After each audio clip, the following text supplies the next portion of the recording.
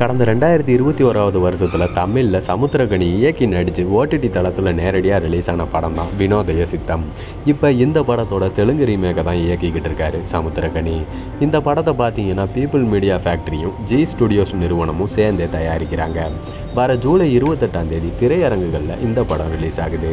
பவன் கல்யாண் சாய் தரன் தேஜ் இந்த படத்தில் நடிச்சிருக்காங்க. சமீபத்தில் இந்த படத்தில் இருந்து டீசர் ரிலீஸ் ஆகி ரசிகர்கள் கிட்ட நல்ல வரவேற்பையும் பெற்றிருக்கு. இந்த படத்தில் பார்த்தீங்கன்னா மைடியர் மார்க்கண்டேயான்ற முதல் பாடலையும் ரிலீஸ் பண்ணியிருக்காங்க.